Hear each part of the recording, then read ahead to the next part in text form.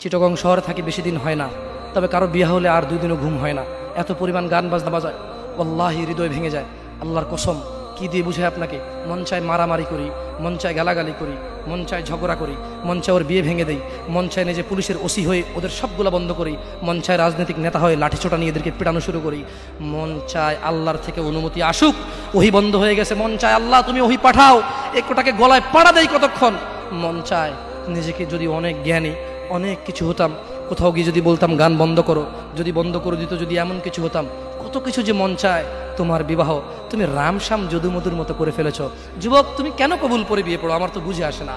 বাবা, আপনি কেন আপনার ছেলেকে কবুল পড়িয়ে বিয়ে দিচ্ছেন? আমার বুঝে আসে না।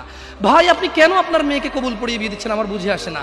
আপনার মেয়ে হলুদ কাপড় পরে, মাথার মধ্যে খোপা দেয়, তিনজনে এসে দুধ খাওয়ায়, চারজনে কোলে নিয়ে নেয় ছয় জনে গান বাজায়, দশজনে এসে হলুদ মাখে। শুধু বুঝি মৌলবি দিয়ে কবুল পড়ালে বুঝি মুসলিমের বিয়ে হয়। শুনুন, আপনার নবী মোহাম্মদুর রসুল্লাহ সাল্লাহ আলাইহি ওয়াসাল্লাম কবুলের পদ্ধতি দিয়ে গেছেন। তাই কবুল পড়ায় মুসলমানের বিয়ে মনে করেন না। কিন্তু বাকি যেগুলো করেন, এগুলো কার পদ্ধতি? কার? মিথ্যা কথা বলবেন না। হুজুর ডেকে খুতবা পড়ে, কবুল পড়ে, বিয়ে কার পদ্ধতি? আল্লাহ নবীর। এই গান কার পদ্ধতি? কেন করতেছেন? ওটা তো আপনার বিয়ের অংশ। বিয়ে না হলে তো বাজাতেন না।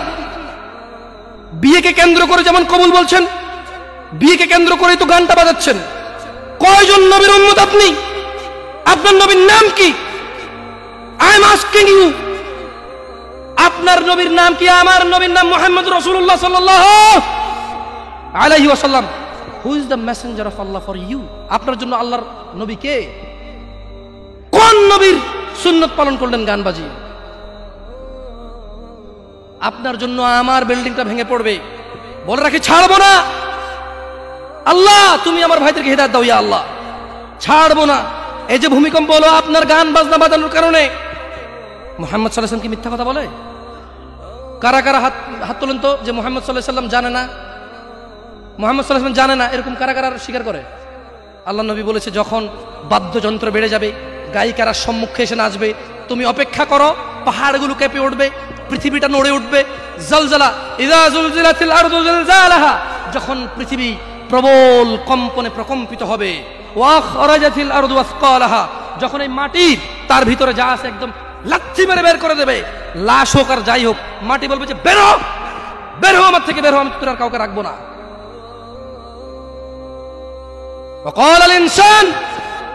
মানুষ বলবে, মালাহা মালাহা পৃথিবীটা কি হলো? এই মাটির কি হলো? কেন সে কবরগুলো, লাশগুলো বের করে দিচ্ছে? কেন সে স্বর্ণ মতি হীরা মানিক্য বের করে দিচ্ছে? মালাহা এর কি হলো? কেন পাহাড় নড়ে উঠছে? কেন পাহাড় ভেঙে চূর্ণ বিচূর্ণ হয়ে যাচ্ছে? মানুষ বলবে, মা মালাহা পৃথিবীর কি হলো? বিয়ান্না পৃথিবী এটা করবে, বিয়ান্না রব্বাক, কারণ তোমার প্রতিপালক আউ হালাহা পৃথিবীকে আদেশ করেছে।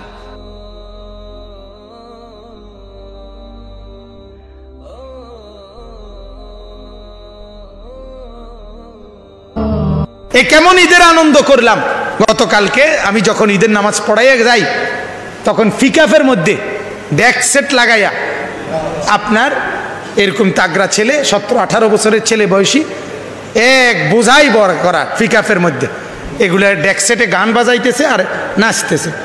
তো আমার ছেলে সাড়ে পাঁচ বছর বয়স, সফওয়ান, আমার ছোট ছেলে ওই আমার সাথে ছিল গাড়ি আমার সাথে গেছে ঈদের নামাজে। আমার ছেলেটা তাও আমার জিজ্ঞাসা করছে, আব্বু, এটা কি? এগুলা কি? এত ছোট মানুষ বুঝছে না। এই যে এরম লাফাইতে আছে যে ফোলাফাইন এগুলো হয়তো বুঝতেছে না যে এরম করে কা। পরে আমি বললাম, আব্বু, এগুলারে কুত্তা কামড়াইছে, সব দিনে একটা ডাইরেক্ট বলছি আর, বিশ্বাস করে। এগুলারে কুত্তা কামড়াইছে এই জন্য কুত্তার কামড়ের কারণে, আব্বু, আজকে তো ঈদের দিন, ওষুধের দোকান খোলা নাই, সব দোকান ফাটো বন্ধ, এখন কি করব? কুত্তার কামড়ে নাচতে আছে এটা তারে কুত্তায় কামড়াইছে তারে। তারে শুয়ারে কামড়াইছে তারে। তারে জানোয়ার কামড়াইছে তারে।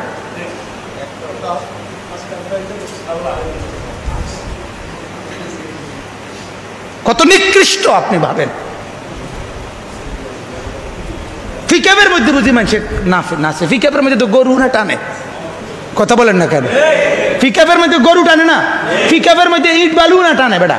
ফিকাবের মধ্যে মানুষে যায় কেমনে? তোর সামান্য রুচি নাই, তুই নাচলে অটোর মধ্যে নাচতি, তত একটা ভদ্রতা থাকতো তোর যে, যাক, অটোর মধ্যে তো মানুষে চলে। ছি ছি ছি ছি। তাইলে আজ আমরা আমরা যখন নিজেদের মধ্যে লাগাম ছাড়া হয়ে গেলাম, সবাইকে সবার মতো ছেড়ে দিছেন।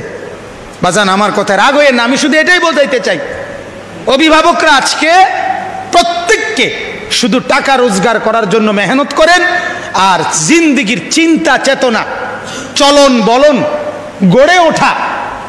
আমার আমার স্পষ্ট মনে আছে, আমি ব্যক্তিগতভাবে এমনও জীবনে গেছে হায়াতে, চুল কাটাইতে গেছি, চুল কাটাইতে গেছিয়া দুইবার বড় ভাই চুল কাটাইছে, একবার কাটছি, আসার পরে বড় ভাই চুল হাত দিয়ে কইছে, সামনের দিক দিয়ে একটু বড় রয়েছে অন হয়েছে না, আবার যা, আবার চুল কাট, আবার কাইটে আইছি মিয়া।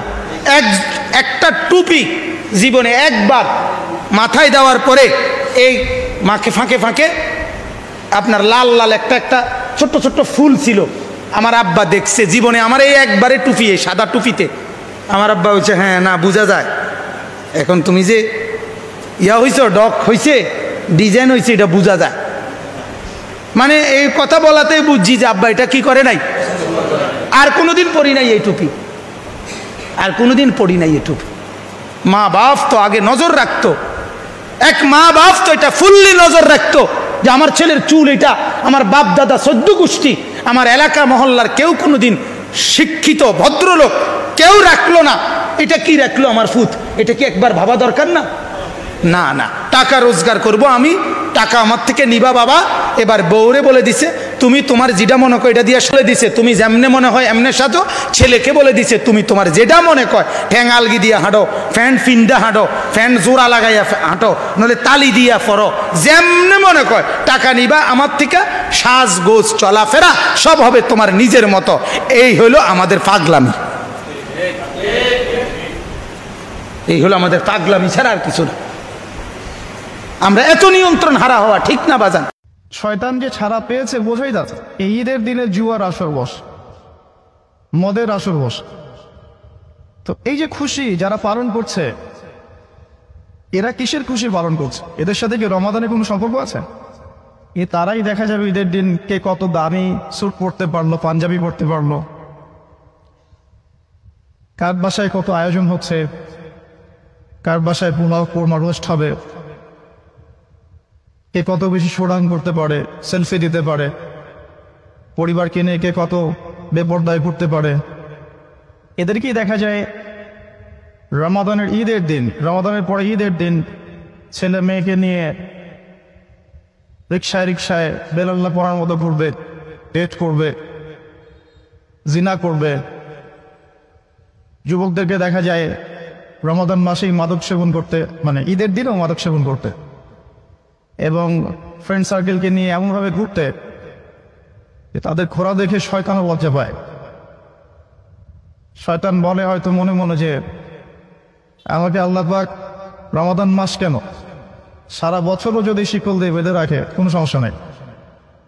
তোর তো আছেই। শয়তান হয়তো এই কথা বলে, আমরা শুনি না। আর আল্লাহ রবুল আলমিন যে রমাদান মাসে শয়তানকে বন্দি করে রাখেন এটা প্রমাণ হচ্ছে চাঁদ রাত এবং ঈদের দিন। রমাদানের পরিবেশ আর চাঁদ রাত এবং ঈদের পরিবেশের মধ্যে যে পার্থক্যটা এটাই বলে দেয় হ্যাঁ আসলেই শয়তান বন্দী ছিল। দেখবেন এই এই শ্রেণির মানুষকে যারা রমাদানের হক মোটেও আদায় করে নাই ইভেন তাদের সাথে রমজান মাসে কোরআনের কোনো সম্পর্কই ছিল না। এরাই দেখবেন ঈদের দিন অথবা ঈদের পরের দুই দিন রাস্তায় রাস্তায় গান বাজাবে প্রচণ্ড জোরে শব্দ দূষণ করে।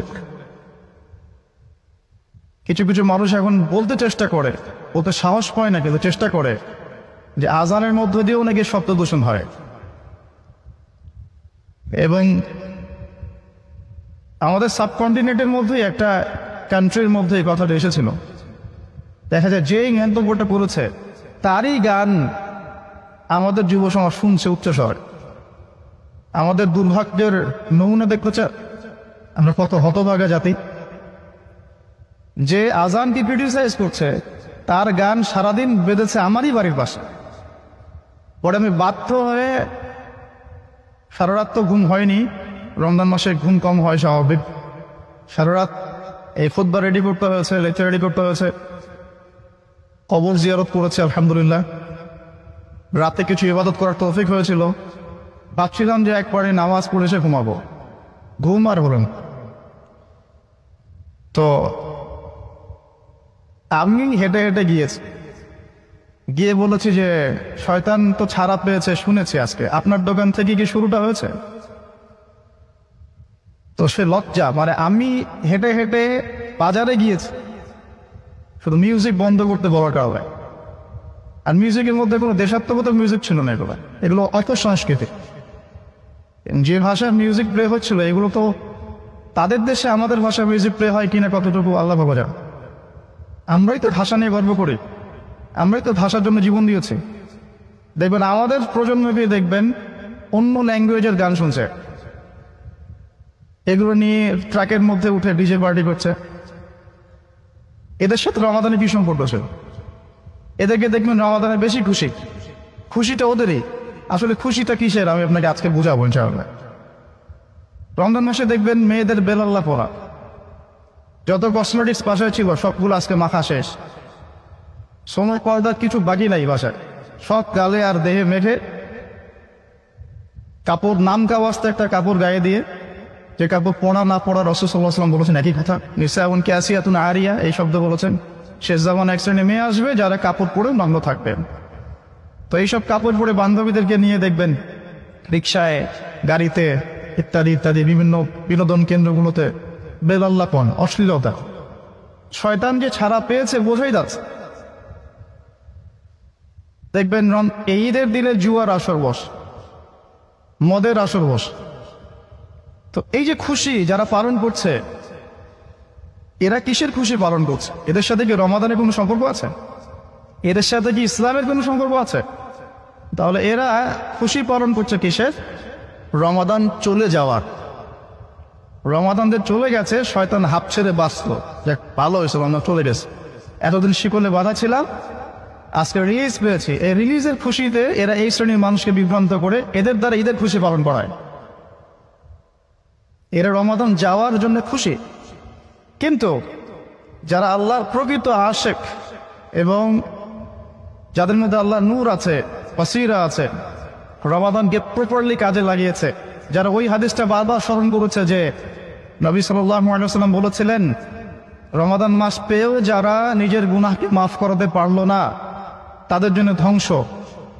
আল্লাহ পাকের প্রকৃত আশেক যারা, আল্লাহর মারেফত যারা বুঝতে পেরেছে, তারা রমাদান আসার সাথে সাথে খুশি হয়েছে, চলে যাওয়ার দিন কান্নাকাটি করেছে। যেদিন চাঁদ রাত বলে যে কথাটা আমরা বলি, ঈদের আগের রাত, এই দিন দেখবেন আল্লাহ প্রকৃত আশেক যারা। আল্লাহ পাকের মকবুল বান্দা, যারা, যাদের কলব জীব, জীবিত, মৃত মৃত অন্তম নয় এদের মতো। তারা দেখবেন নীরবে নিবৃতে ইবাদত করেছে, আল্লাহর কাছে হাত তুলে কান্নাকাটি করেছে যে রমজান মাস চলে গেল, আমি কতটুকু নিজের গোনা মাফ করাতে পারলাম কিনা? দুটো এক্সাম্পল দিচ্ছি। ওমর রাদিয়াল্লাহু তাআলা আনহু। তিনি এই শাওয়ানের চাঁদ ওঠার সাথে সাথেই বাচ্চাদের মতো কান্নাকাটি করতেন।